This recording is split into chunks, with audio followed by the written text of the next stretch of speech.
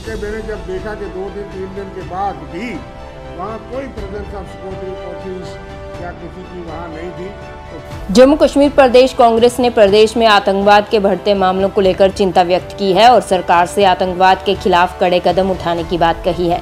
जम्मू में आयोजित एक पत्रकार वार्ता में प्रदेश कांग्रेस के अध्यक्ष रमन भल्ला ने कहा कि पिछले कुछ महीनों से जम्मू कश्मीर में आतंकवाद के मामलों में बढ़ोतरी हुई है, खासकर पीर पंजाल क्षेत्र के जिला पुंछ और राजौरी में कई आतंकवादी हमले हुए हैं। उन्होंने कहा कि कांग्रेस नेता रविंद्र शर्मा ने राजौरी ज़िले के नारला इलाके का दौरा किया और वहाँ के लोगों से मुलाकात की। आपको बता दें कि नारला वही इलाका है जहाँ पिछले मंगलवार को आतंकवादियों और सुरक्षा बलों के बीच मुठभेड़ हुई थी। इस मुठभेड़ में सुरक्षा बलों ने दो आतंकवादियों को मार गिराया था। वहीं सेना का एक जवान शहीद हो गया था और एक पुलिस एसपीओ सहित तीन अन्य घायल हुए थे। रमन भल्ला ने कहा कि कांग्रेस पार्टी मांग करती है कि सरकार इन इलाकों में सुरक्षा व्यवस्था की समीक्षा करे और ज़रूरत वाले इलाकों में सुरक्षा चौकियाँ बनाए।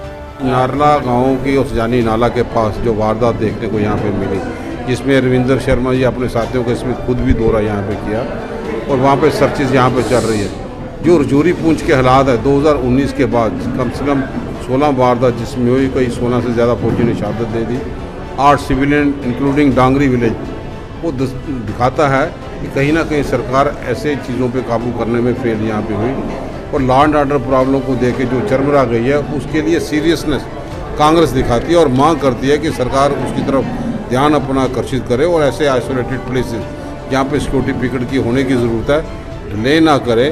विलेज डिफेंस कमेटियों को स्ट्रेंथन यहाँ पे करें ताकि लोगों का कॉन्फिडेंस लेवल बढ़ पाए और ऐसी वारदात डांगरी जैसी वारदात कहीं ना देखने को यहाँ पे मिले। तो उनके साथ ही कांग्रेस समर्थन कर दिया और 2010 में कांग्रेस के इनिशिएटिव पे ही ये सारा यहाँ पे हुआ। अब डिले यहाँ पे होगा देर से आए हैं लेकिन हम सब लोग उनका समर्थन करते हैं। हमारी पार्टी की नेशनल लेवल की लीडरशिप इस मुद्दे पे उनके साथ खड़ी है।